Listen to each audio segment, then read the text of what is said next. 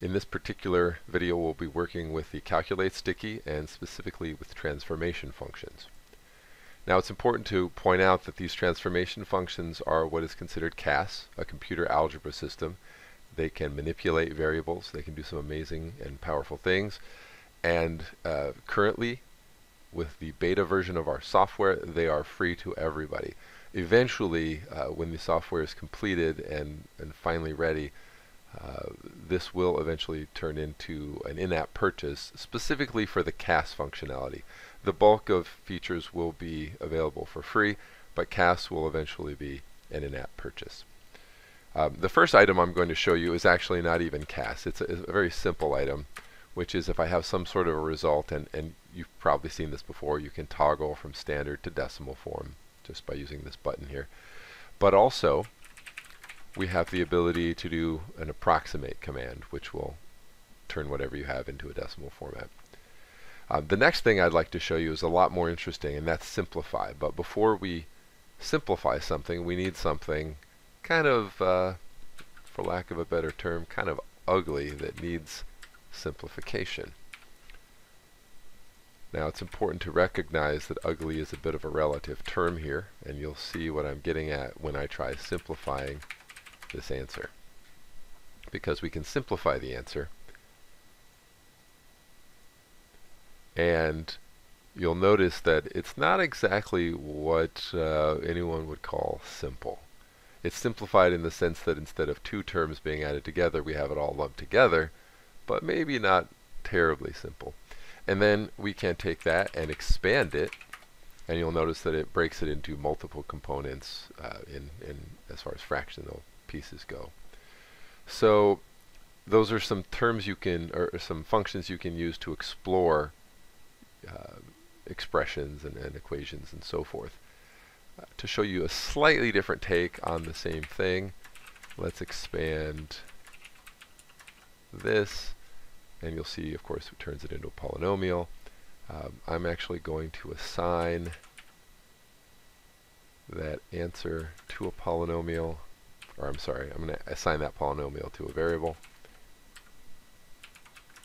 just so that I can do a few more things with it. For instance, I might want to factor out from A the x plus 2 component.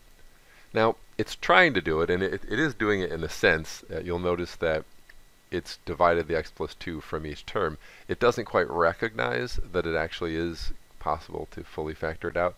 And so there's another term that's useful in these circumstances, and that's combine. And what combine does is it takes multiple uh, rational fraction, essentially fraction pieces, and it, it combines them all together if possible. And so it's doing that, and then it recognizes, oh, when I put these together, it really does factor out that x plus 2. So these are some ways you can explore um, various expressions and kind of dig into them and see if there's any patterns for you to, uh, to determine. Um, a couple other things I'd like to show. I'll create another, what we might call messy expression.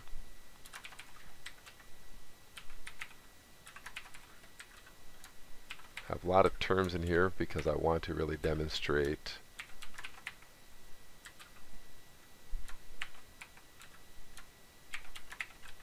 Now, actually, the first thing I want to show you before anything else is I want to really point out what I had to do here when I was inputting uh, multiplication symbols. Because because this is this does have the ability to recognize a single letter variable, but also words can be treated as variables. So when I put x and y touching each other, it doesn't know that I'm I mean x times y instead of the variable xy. For some reason, you could potentially want that. Um, so rather than make that assumption on your behalf, we just assume if letters are together, you mean to put them together. If you don't want them together as like a word, please put a multiplication symbol. You'll notice the exponents don't have this limitation. When you have x cubed y, obviously that's not one variable. But something like xy, you need to multiply in between. So now that I've done that, I just want to show you that you can also collect out of this expression, for instance, an x. And what it will do is it will actually organize it so that the first piece has the x cubed the first term has the x cubed in it, the second term has the x squared, and the last term is times x. And I could do the same thing for, for y or for z. So now you see y cubed in the first term, y squared in the second term, y in the third term, and nothing at all, sort of constant with respect to y in that last term. A couple other things I'd like to show you. Uh, these don't necessarily fall under uh, symbolic manipulation, but I can turn this into a proper fraction.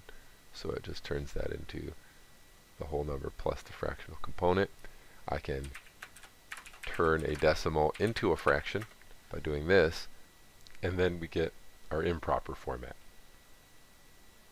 Okay, so that's a quick look mostly at our at some of our CAS commands and the transformation of functions, but a few other th things around the edges that you might find useful as well. So thanks for joining us, and if you like what you see, please subscribe.